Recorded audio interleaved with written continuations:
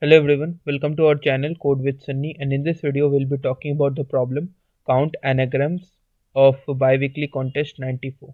Okay, so this problem requires totally concept of mathematics, permutations and combinations. Okay, so if you are well aware about the binary exponentiation factorials, how to compute the inverse using Fermat-Little's theorem, then it will it is very good for you otherwise uh, you need not to worry about. I'm just providing the uh, binary exponentiation tutorial in the description section of the video. So if you are unaware about the concept how to compute the inverse binary exponentiation and all you can check out that binary exponentiation tutorial. I have just added the link over here. Okay. So let's try to understand this problem. You are given a string s that contains one or more words and every consecutive pair of words is separated by a single space a string T is an anagram of string S if the ith word of T is a permutation of the ith word of S. Okay. So you have to return the number of distinct anagrams of S and the answer is going to be very large. You have to uh, return it modulo 10 raised to the power 9 plus 7. Okay. So let's try to understand this problem first. You have this string, uh, you have the string uh, as string S that contains uh, words. Okay so you can say this is a particular word. We have this another word. And the words are separated by a single space. Okay. Now uh, you can see uh, if you have two strings let's say string t okay suppose it it has also some of the words. Okay.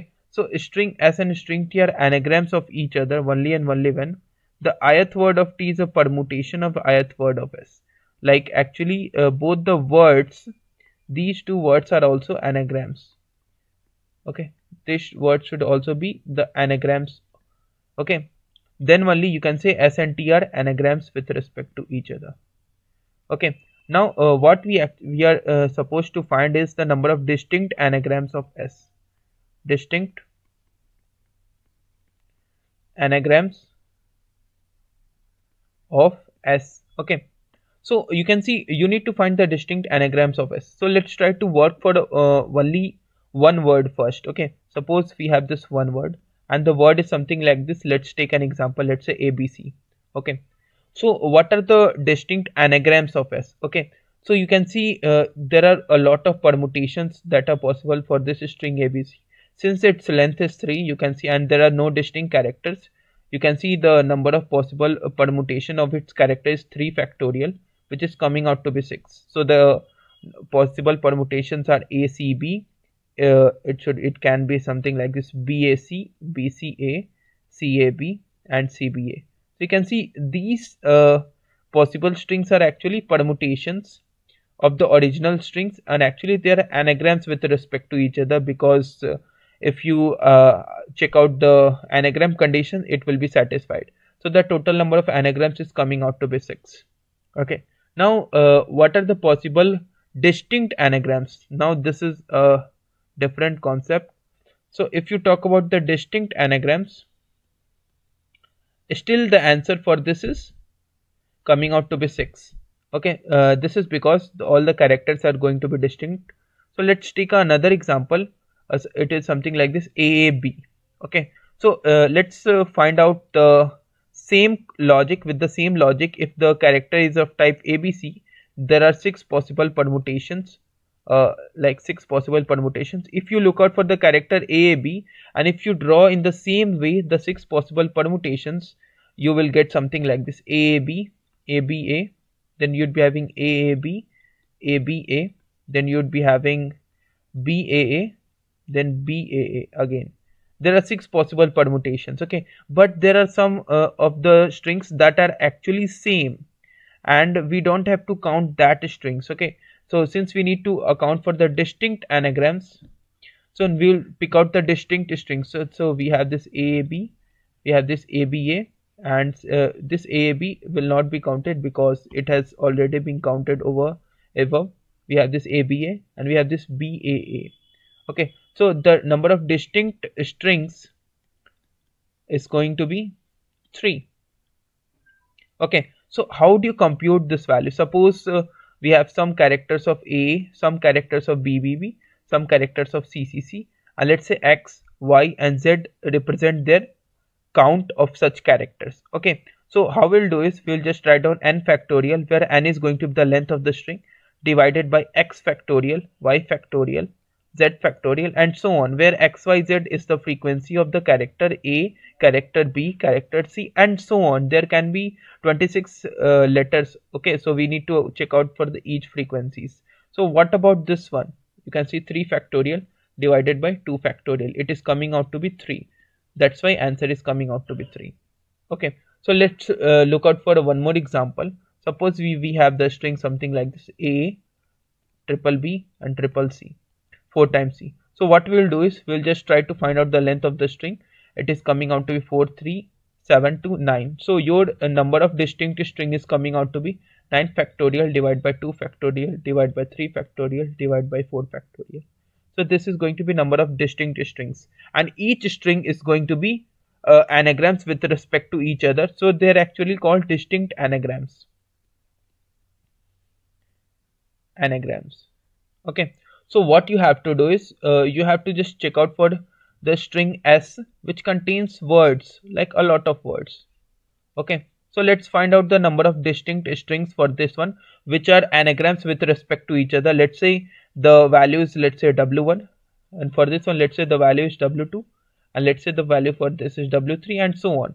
So what is your answer? Your answer is nothing but w1 uh, multiplied by w2 multiplied by w3 and it goes on for all the words. Let's say that there are m words in the string.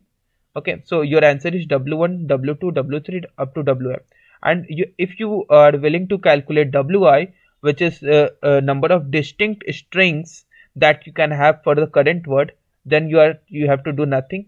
You have to just find out the length of word. And you have to just uh, perform the factorial of the length of the word divided by you know frequency of a uh, factorial similarly frequency of b factorial and so on.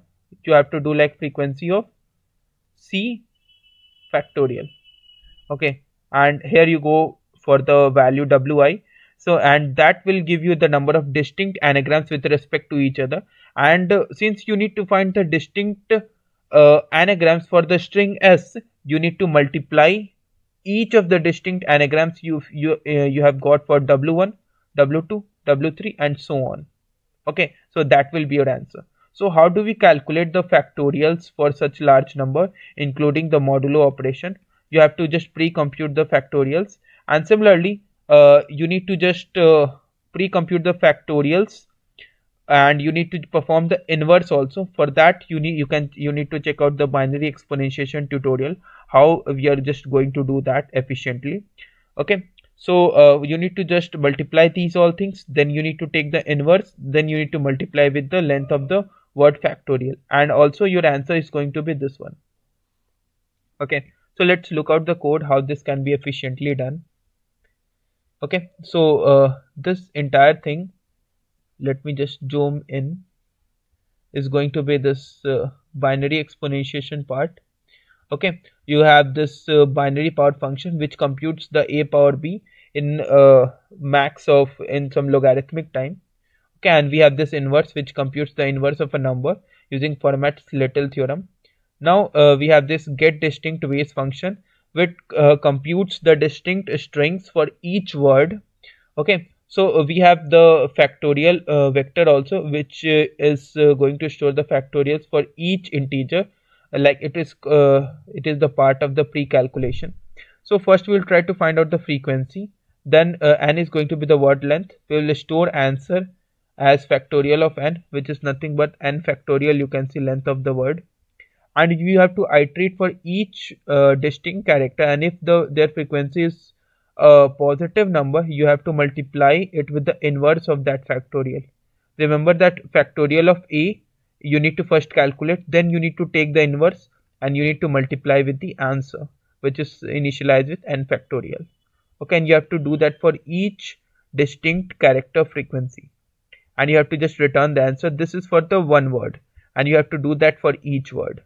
Okay so uh, yeah. So you can see this part is going to be nothing but you are, you are just extracting the word and you are just uh, multiplying with the answers. Okay uh, which is something like this w1 into w2 into w3 and so on.